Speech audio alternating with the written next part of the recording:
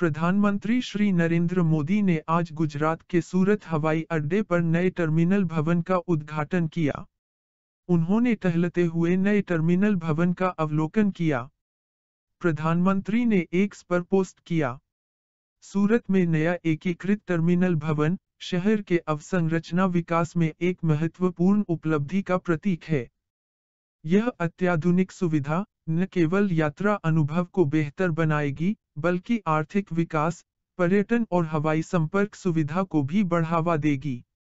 Terminal भवन, दिन की सर्वाधिक व्यस्त अवधि के दौरान 1200 घरेलू यात्रियों और 600 अंतर्राष्ट्रीय यात्रियों को संभालने में सक्षम है, और इस भवन में सर्वाधिक व्यस्त अवधि के संदर्भ में क्षमता को 3000 यात्रियों तक बढ़ाने का प्रावधान है। इससे यात्रियों को संभालने की वार्षिक क्षमता 55 लाख तक बढ़ जाएगी।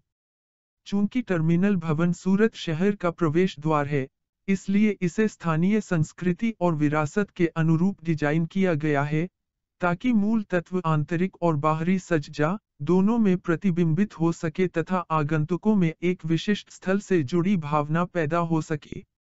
बेहतर बनाए गए टर्मिनल भवन के अग्रभाग का उद्देश्य सूरत शहर के रांदेर क्षेत्र के पुराने घरों की समृद्ध और पारंपरिक लकड़ी के काम के साथ यात्री अनुभव को समृद्ध करना है।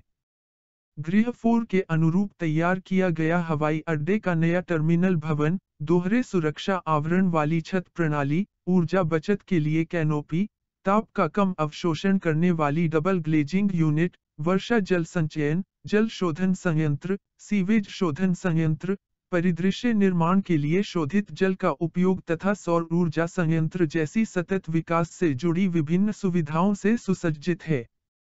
वीडियो को अंत तक देखने के लिए धन्यवाद।